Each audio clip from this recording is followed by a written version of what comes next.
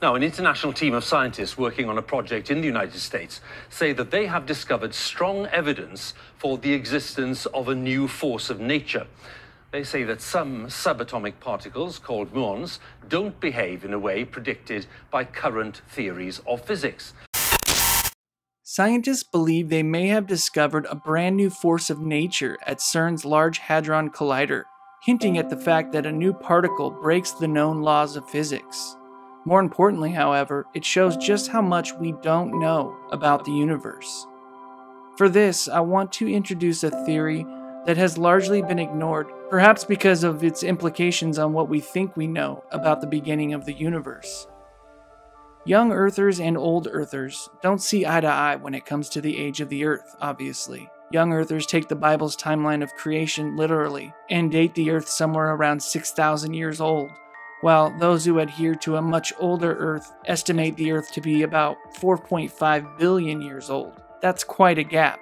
And according to the scientific community, all signs point to an old Earth. But what if there was overwhelming scientific evidence that the Earth was indeed 6,000 years old after all?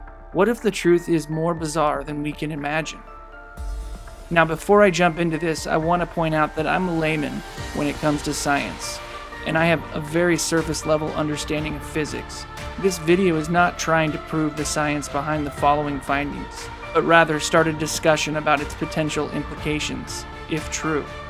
While I was thinking about the age of the Earth, I faintly remembered an Australian astronomer I had heard about a couple years ago by the name of Barry Setterfield, who was known for pushing an unpopular idea that the speed of light was slowing down.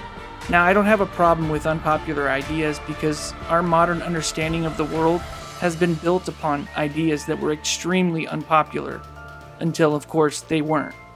When Setterfield researched the history of scientists measuring the speed of light, he discovered 163 speed of light determinations over the past 300 years. What was interesting was the fact that throughout time, those measurements had become slower and slower on a consistent path. But what does light speed have to do with our discussion? Well, thanks to Einstein and his theory of relativity, we know that light's speed limit affects more than how quickly we can see the light from our sun, which takes about 8 minutes for light to make the entire trip. In fact, the speed of light affects time as well. But let's back up a bit. E equals mc squared tells us that matter and energy are interconvertible, and that time is relative, depending on how fast you are moving and how much gravity is acting upon you. Relativity tells us that time can contract and expand for two observers moving at different speeds. In most cases, this discrepancy isn't noticeable. However, let's say you blast off into space and rocket through the cosmos at a super fast speed, like close to the speed of light. At this speed, things begin to get weird.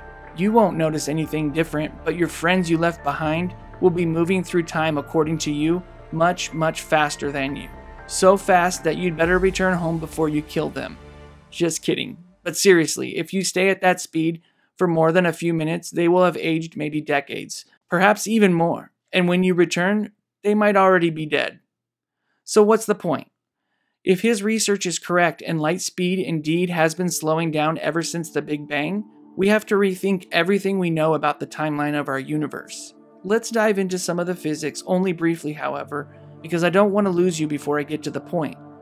According to the majority of scientists today, the fabric of the universe is expanding or stretching out.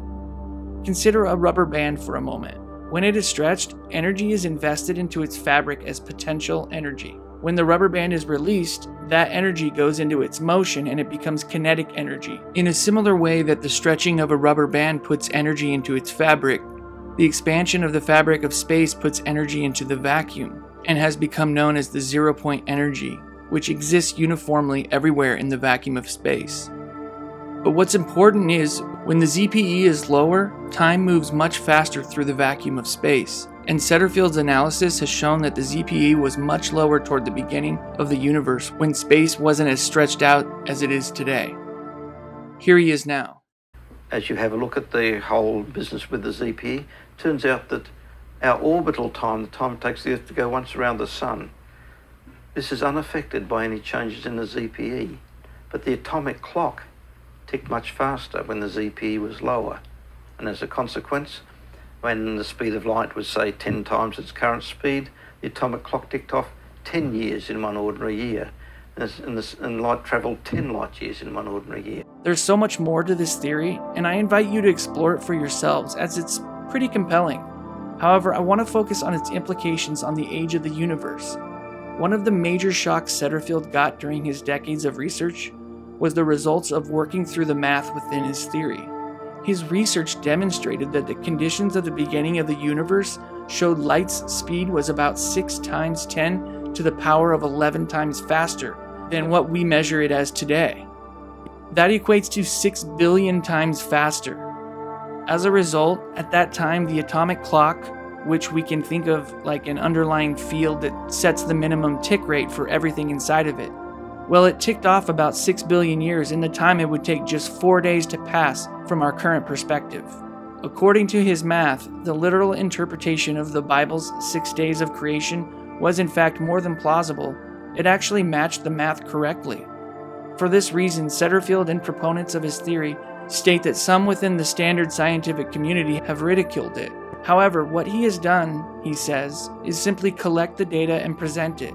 So if he's correct, that would mean that the Earth could indeed be 6,000 years old after all, but still have the illusion that it's 4.5 billion years old when geological and atomic measurements are taken today and calculated against a uniform history of Earth. I don't know what to make of this because I'm not a scientist, but it wouldn't surprise me one bit if it were true. We still know so little about the universe, as shown by CERN's most recent discovery of a possible new force never detected before. Imagine what else there is that we don't know. Comment below and tell me what you think about this theory. Is the Earth 6,000 years old, or is it much older?